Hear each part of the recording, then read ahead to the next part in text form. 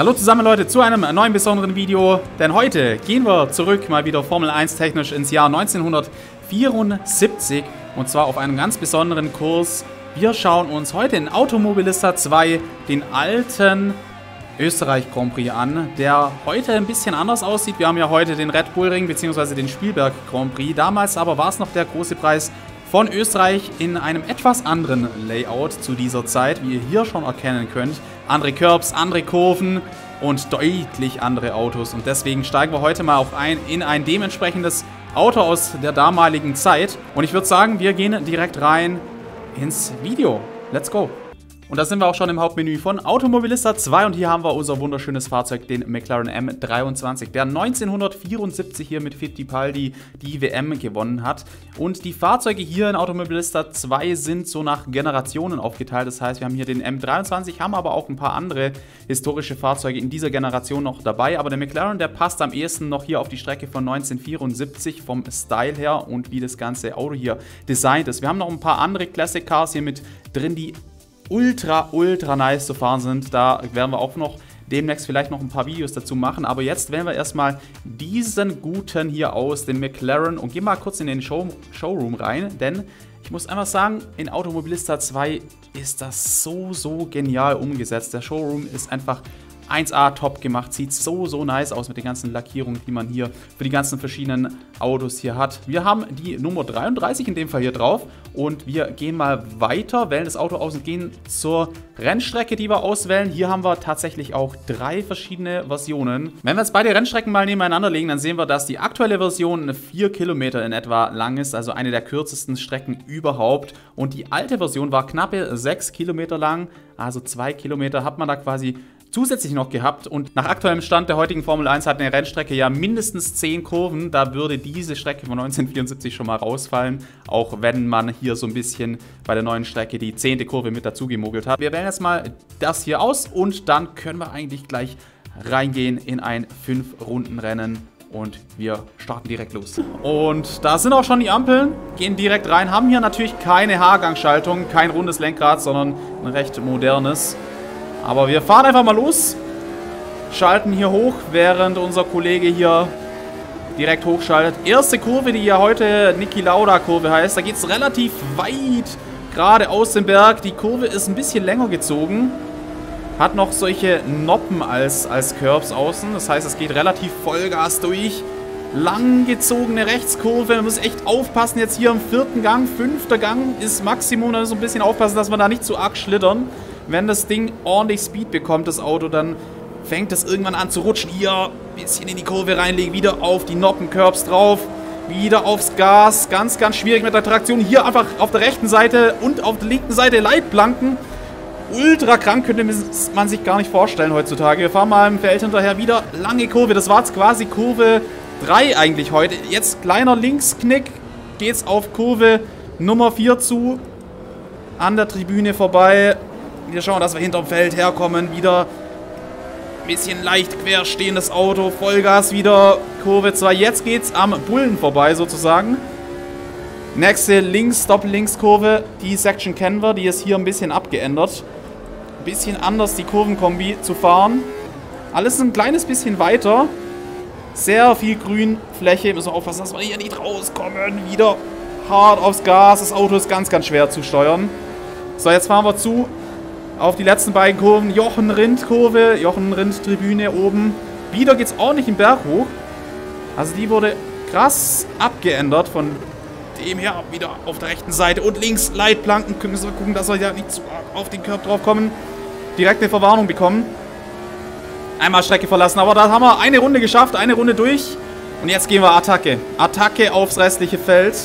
Aber die Jungs sind echt schnell. Müssen wir später bremsen. Ein kleines bisschen später rein in die Kurve. Und da können wir vielleicht den ersten Platz gut machen, jawohl. Innen rein, jawohl. Ein Platz gut gemacht. Mit ganz, ganz viel Risiko reingefahren. Fast Todeskommando hier. Bisschen zu schnell reingefahren und du landest direkt, zack, in der Leitplanke. Keine Tech Pro Barriers oder ähnliches. So, da sind wir schon im fünften Gang. Werden nochmal attackiert. Wieder leicht vom Gas runter auf die Bremse. Nochmal Kurve Nummer 4 durch. An der Tribüne vorbei, vielleicht innen durch. Die ersten paar Plätze machen wir auf jeden Fall gut. Runde Nummer 2. KI ist ordentlich schnell auf jeden Fall. Also Automobilista 2 nicht zu unterschätzen. Okay, wir haben einen Platz verloren, aber halb so wild. Guter Spin, gut wieder abgefangen. Das hätte mal Niki Lauda so gemacht. Wäre richtig stolz gewesen. Und vor allem auf den langen Geraden, wenn man einfach nur geradeaus fährt, will das Auto teilweise nicht geradeaus fahren. Das verliert dann irgendwie die Kontrolle, weil der Radstand irgendwie sehr, sehr kurz ist und die Bodenwellen bringen das Auto richtig, richtig hart ins Wanken. Oh! Genau das ist das, was ich meine. Aber crazy Strecke. Hier können wir immer ein bisschen ranfahren. Hoch, dritter Gang. Innen vorbei, innen vorbei. Nein! Oh, das war's. Wir starten gerade nochmal rein, haben die Kamera ein bisschen angepasst. Ein bisschen nach hinten gemacht, dass wir ein kleines bisschen mehr sehen. Auch das maximale Gefühl fürs Auto. Ansonsten wird es hier aufs erste Mal hier fahren, das erste Mal ever, echt ein bisschen zu schwer gegen die KI hier. So, nochmal geht's zu auf die heutige Niki Lauda Kurve. Unterbremsen gehen wir vielleicht schon innen rein, da können wir direkt die ersten Plätze gut machen. Jawohl, let's go. Wieder voll auf dem Gas stehen bleiben. Ganz, ganz wichtig. Jetzt kommt die Bodenwelle gleich. Müssen wir aufpassen, nicht, dass das Auto wieder komplett versetzt. Diesmal kommen wir gut durch. Wieder spät runterbremsen, innen rein. Oh, leichte Berührung. Mit dem ersten McLaren, aber da haben wir nochmal Glück gehabt. Soweit so gut, soweit so gut. Weiter geht's. Wieder an den beiden Leitplanken vorbei. Aber jetzt kommen wir deutlich besser vor. Bisschen mehr Gefühl für die Strecke ist schon da. So, ziehen wir innen rein. Oh, wieder ein bisschen zu viel. Haben wir den ersten Kollegen abgeräumt. Schön weggeschoben von der Strecke. Aber weiter geht's. Wir lassen uns nicht beirren. Kriegen wir wahrscheinlich eine 5 Sekunden Strafe dafür. Nicht hinten drauf fahren dieses Mal. Nicht hinten drauf. Innen durch. Ah, kurz verschalten. Falscher Gang. Vielleicht geht's außen vorbei. No. Es ist so schwer. Es ist so schwer, Mann. Auto wieder zerstört. Auto wieder kaputt. Der Fahrer hat einfach einen Krampf. Krampf, Krampf, Krampf, Krampf. In beiden Händen Krampf. Also wir kommen jetzt immerhin schon rein in Runde 4 sind in Runde 4. Man muss halt einfach sagen, dass wir das Auto teilweise echt deutlich über dem Limit bewegen. Es ist ganz schwer, das Limit zu finden. Weil irgendwann ist der Punkt gekommen, da will das Auto nicht mehr das machen, was du gern von dem Auto erwarten würdest. Gerade solche Aktionen außenrum, ganz, ganz schwer einzuschätzen. Aber dieses Mal hat es geklappt und wir zieht das Auto ein bisschen weit nach links auf die Wiese. Und immer noch ist er rechts. Sie sind auf Platz 15. Nach ganz, ganz vielen Versuchen haben wir es gerade jetzt so auf Platz 15 geschafft. Runde 4, aber dieses Mal kommen wir durch. Ist er noch auf der rechten Seite? Ne, wir können durchziehen. Wir können durchziehen. Wieder Vollgas. Das Auto ist so extrem schwer zu lenken.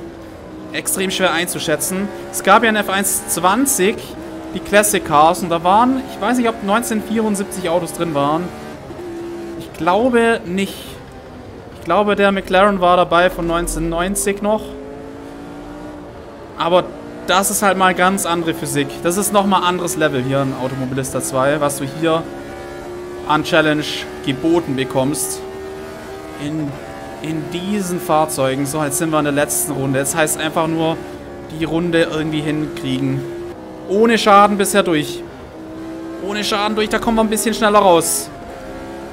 Kommen wir da nochmal zur Kurve Nummer 4 gut hin. Nochmal einen Platz. Ein Platz ist drin. Safe durchfahren. Es ist krass. Dachte, auf der Schwierigkeit kommen wir vielleicht sogar bis ganz nach vorne. Aber dazu ist das Auto einfach zu schwer zu fahren. Und die KI zu strong, was Überholmanöver angeht. Die sind schon auch echt am Limit unterwegs auch deutlich besser in den, wie in den F1-Spielen, die man bisher so gesehen hat. Muss man einfach so sagen, auch wenn die Automobilista-KI im Regen viel zu stark ist, ist sie hier im Trockenen echt richtig, richtig nice zu bekämpfen. So, jetzt nochmal die gefährliche Links-Rechtskurve. Äh, so, nochmal Jochen Rindt und dann letzten zwei Kurven, beziehungsweise letzte Kurve ist ja quasi eine Kurve. Boah, das war nochmal knapp. Können wir da nochmal innen reingehen. Und nochmal ein bisschen mit dem Gas spielen. nicht zu weit raustragen lassen, aber da kommen wir nicht ganz vorbei. Oder vielleicht ein Fotofinish. Na, wir müssen mit dem 16. Platz leben. Wir sind durch. Wir haben fünf Runden geschafft. Wir haben fünf Runden geschafft, Leute. Ist das krank.